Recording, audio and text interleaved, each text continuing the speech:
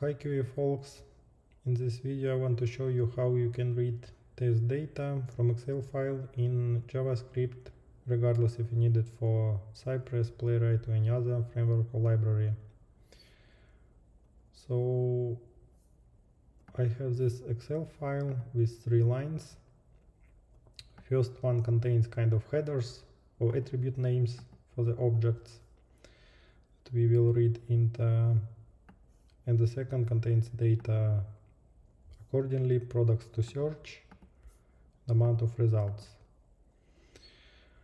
So what my code will do it will read uh, these headers first to put them as a properties in objects.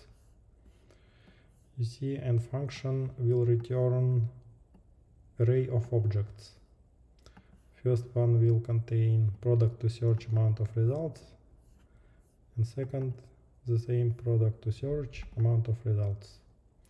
I'm going to use Best Buy website for my testing. So the test will be simple. It will take product to search and search on Best Buy website and then it will check that amount of results this text is present on the page. So it will be two tests in common So how we can do that? First of all, we need to install dependency or libraries that can help us to read data from Excel file. We need to run npm i or npm install command npm i xlsx in the root of your project. Here, for example, I'm located in the root of my project and here I will run npm exlsx I already installed it but in your case it will download and install it. This warning do not uh, pay attention to this. You cannot fix it. But it will do the job for us uh, by reading from excel files. So then after you will run this command what happens it will add this line into your package.json file add it will add dependency. This is the library that we were asking for. And it will download and install this library into your node modules folder in your project so you can use it and import it in your files. Then I created manually created this test data folder. You can name it whatever you want. This Excel file, the same you can use any name, but I would rather not to use spaces in your name, so be careful. And the content of my Excel file I've already showed you. First line headers for attribute names, and then goes uh, data, test data. So I will be reading it in here. You see I am passing Excel file name. The folder name will be uh, hard-coded inside the function itself. Then I'm just uh, printing out to console the content of this Excel to see what's inside. And then using for loop I will create separate test for each of the lines. So you see this Excel data provider, it gets array from uh, array of objects from Excel file, and then uh, for each line, it reads each attribute. In our case, it's product to search amount of results see I extract them into separate variables here. Open Best Buy page. Performance search. Hard-coded wait 5 seconds. And then I assert text is present this amount of results. So test will check that when we search iPhone 14 Plus product of text it will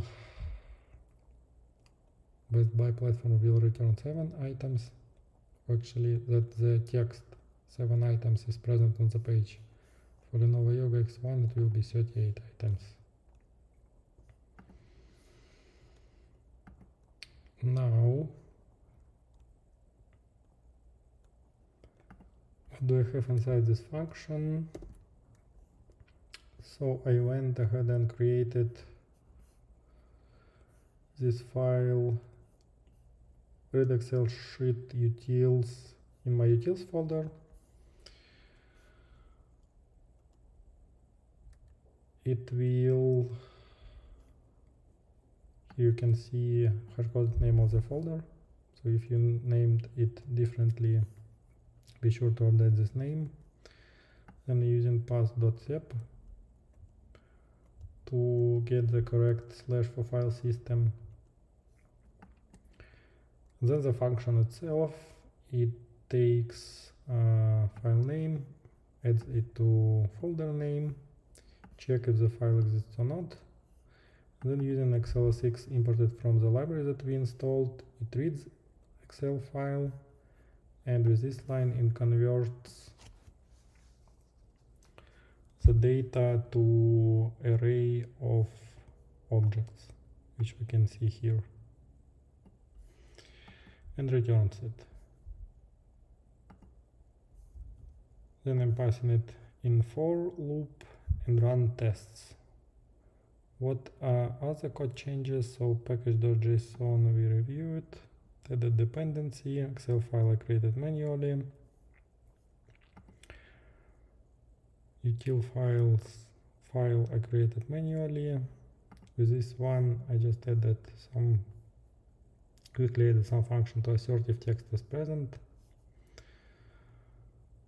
by using contains.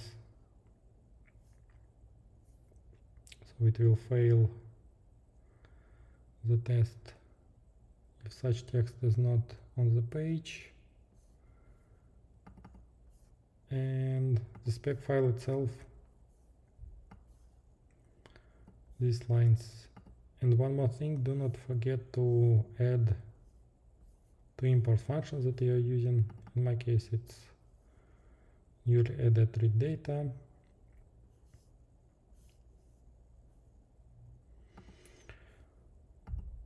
So the logic, one more time, is the following. Read data first. Uh, this one is just to print it out to console. Then pass uh, the data as in a form of array of objects read those attributes of those objects and use them in the test the way you want it to be used. In my case, I just extract into variables, searching something, verify for expected result that I also taken from Excel file. Let's run it and see if it works.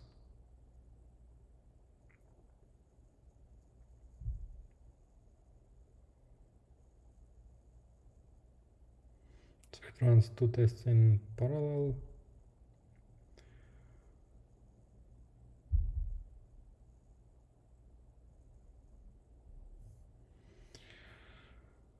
Thirty-eight items not found. Let's check.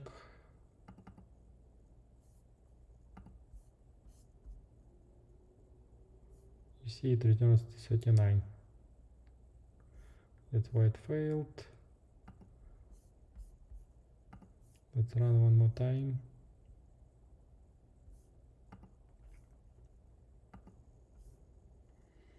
To see it will if it will be 38 or 39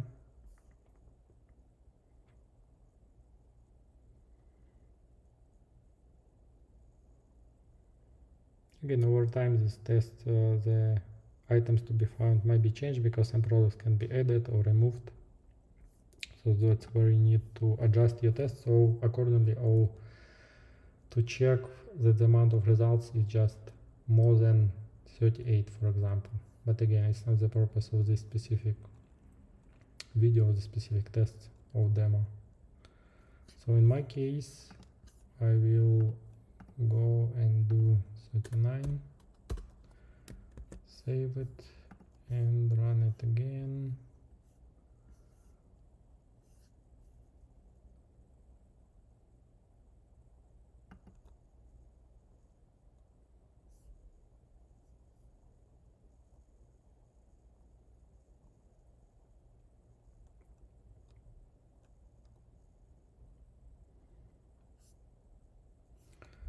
here you can see two pasts.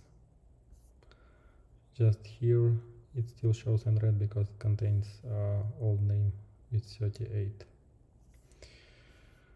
so anyway uh, that's how you can read data. Oh and one more thing that it's a really simple example when you have only one sheet with data. And here you can see that workbook.sheetnames 0 is used. It might become more complicated if you need to read data from different sheets within uh, the same file. So you will need to adjust this uh, function accordingly. But uh, again just for the demo purposes for the simple case this is how you can do it using this library that's it for this video. See you in the next one